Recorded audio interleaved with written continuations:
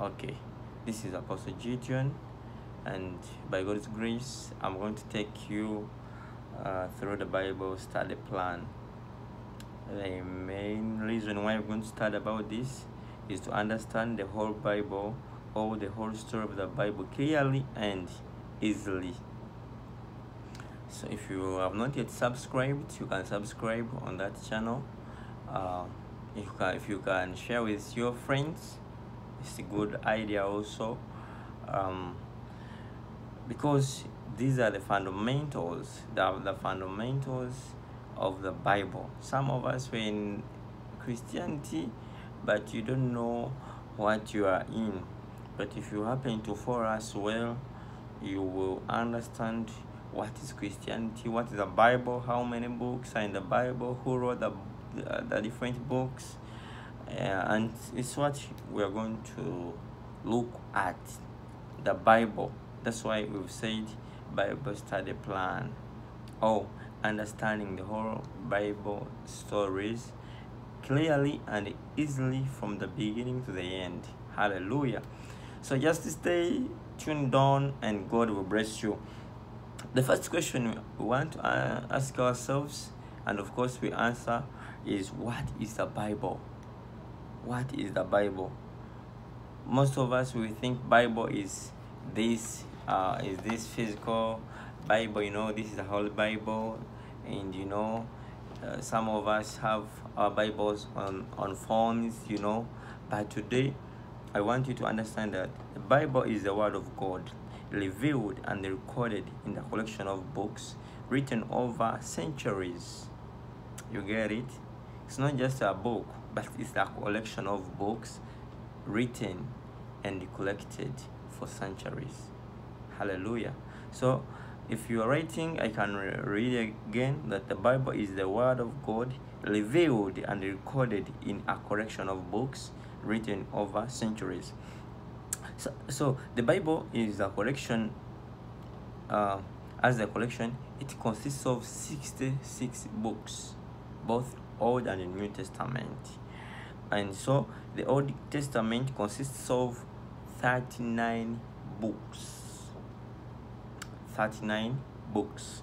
Then, um, and uh, also what you have to know about the Old Testament, it was written in three um, in two languages actually uh, in Hebrew and Aramaic you get it and it ranges from Genesis up to Malachi. I hope you have not yet left you. I want to go very slowly so that you can understand it.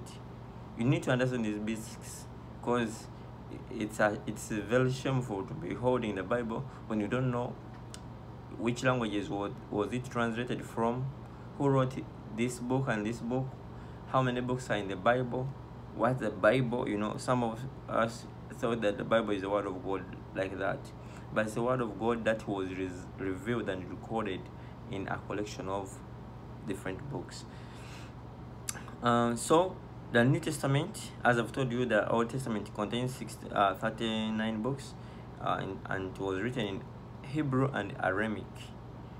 You get it?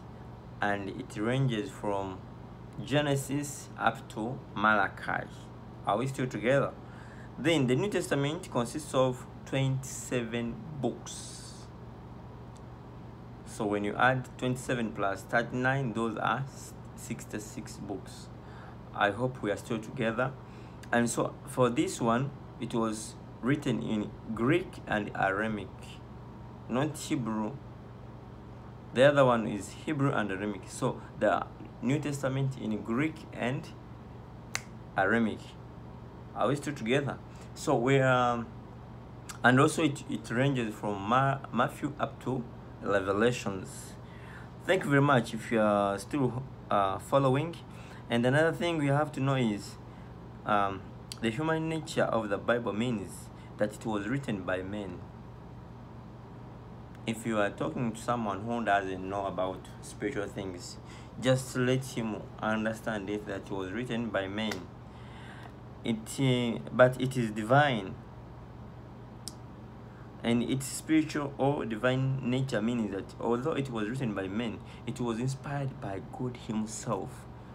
Thus it is it is divine word of god and it is very very true that it is it was inspired by god for that so that men can write it. Hallelujah the word bible originated from the greek uh, language referring to books. The word Bible means books in a Greek language. And so in ancient times, uh, papyrus or the plant from which the fibers were extracted came to be used for writing uh, in place of stones on the sheets created from papyrus texts were written and stored in the form of rolls or parchments. So each each papyrus book uh, in Greek was translated as biblos, biblos as in B I B L O S, and the plural of this biblos was Bible. Wow. From this originated the Bible as the set of sacred books. So, before the term Bible was widely used, this collection of books was more often called the Holy Scriptures.